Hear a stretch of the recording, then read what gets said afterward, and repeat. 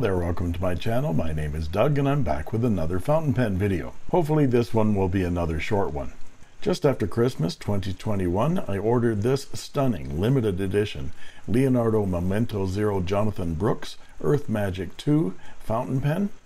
Boy, that's a mouthful. For my own personal celebration of reaching 1 million views on my YouTube channel. When I ordered the pen, I added the $30 wrench so I could disassemble the MZG and my Furore Grande piston filler Leonardo's. I was informed that the piston wrench actually came with the limited edition MZG, so I canceled the wrench order.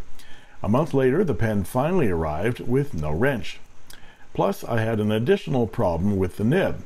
You see this incredible engraving of a quill and ink bottle? Well, that's the logo of the Dutch Pen Show 2021. This pen was the limited edition design specifically for the Dutch Pen Show last year. Something extraordinary happened when I inked the pen. Oh, it wrote beautifully, but the ink kept welling up on the top of the nib there, and I discovered it was leaching through the engraving um, on the top of the nib of that quill. I got in touch with Salvatore and my retailer, and to make a very long story short, 10 full months later, I have a replacement nib and the Leonardo wrench in my hands. So now I can do my planned Leonardo piston filler disassembly video right now.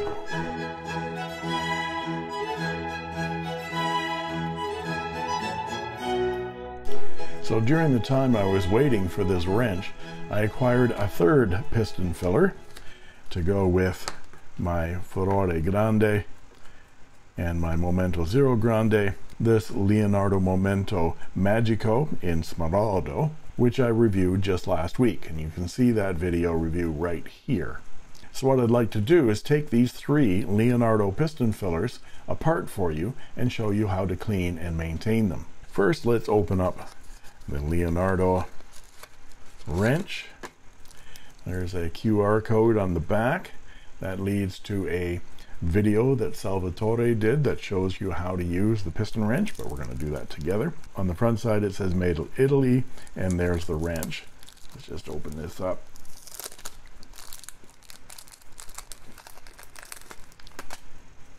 And there's the wrench. And you can see it says Leonardo Officina Italiana right there with the Leonardo Wings logo and you can see it's a fairly solid piece of stainless steel that has still has the that has the mill marks on it. And these little claws here that help in disassembling the piston. So we're going to take a look at the Momento Zero Grande to begin with. We're going to take the cap off. And we're going to unscrew the piston. I've already cleaned this pen out so I won't get ink all over myself if you open the piston there's a couple of notches there and there that these little hooks hook into. So you open the piston completely and then slip the wrench in there until it gets into that slot and that slot on the back as well. And if you hold it there you can screw down the piston knob on the wrench to hold it in place. And then you're going to push the wrench away from you because unlike Pelikan pens uh, this piston assembly goes in in the conventional sense which is clockwise to tighten and counterclockwise to loosen which is righty tighty lefty loosey so we're going to go to the left and we can spin that right around. There it should be clear now. And that wrench holds on to that piston so you can pull that right out of there. There we go now we got our piston apart. I want to show you one thing here. This ring is not attached to the bottom of that barrel. So do not lose that if it comes off. I try to leave it right there. So it'll go right back on. And then you see the piston mechanism here and you'll see this threaded rod here has some white material on it. I believe that is lithium grease. Do not wipe that off. That's very important uh, to keep this thing lubricated but here is the piston itself you want to make sure that that is lubricated with some silicone grease. But you can also pull this nib. That's what we're going to do next. We're going to pull the nib. We're going to use a small piece of rubber elastic and put it over the nib. And then I'm going to grab onto the nib using the shoulders of the nib. And then I'm going to put my knuckles together. This is a Brian Goulet trick. And pull this way, this way, put my knuckles together for leverage and pull it out. Pull it straight out. That's a tight fit. That's what she said. That's what she said. That's what she said. But there's the nib. And here is the ebonite feed. These are made in-house by Leonardo. And they're just like a sponge. I just love them. So you can clean that all out. You can soak it in a glass of water. You can soak your nib.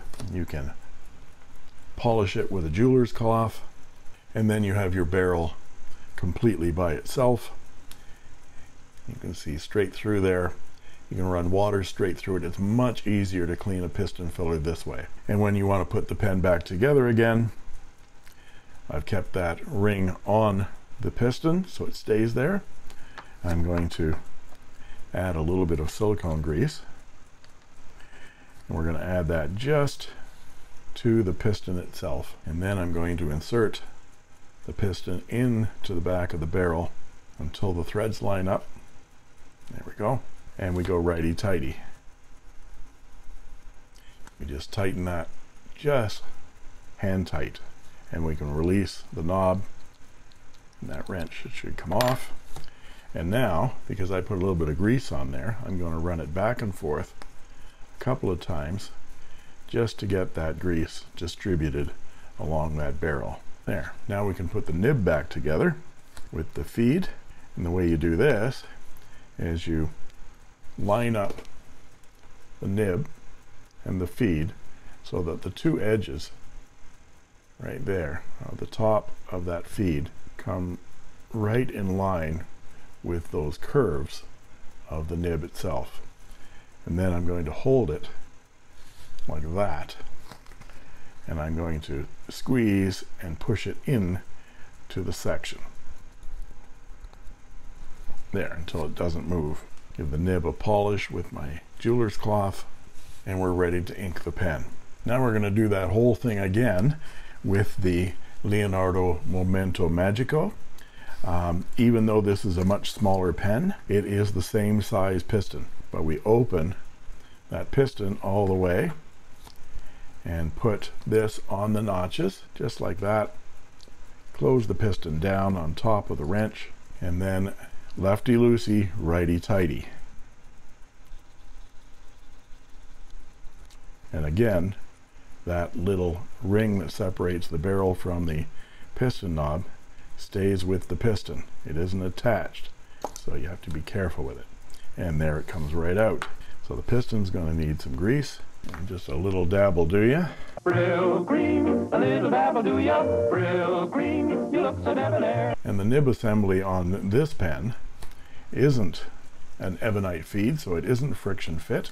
It's part of a unit. I'm going to put my elastic around it just to protect the nib and we're going to unscrew the nib unit and it comes right out just like that. And there my barrel is free for cleaning the little cotton swab. I can get right in there and clean that barrel out. If I can put that piston back in again righty tighty and there's that ring on the piston hand tight just a nudge and then release the wrench then I can grab my nib and screw it back into the section. And it's just that quick and easy to clean out your Leonardo piston filler. Now I did have one issue and I'll end with here. This is my Leonardo Furore Grande in Smeraldo. This was given to me by Salvatore Matrone.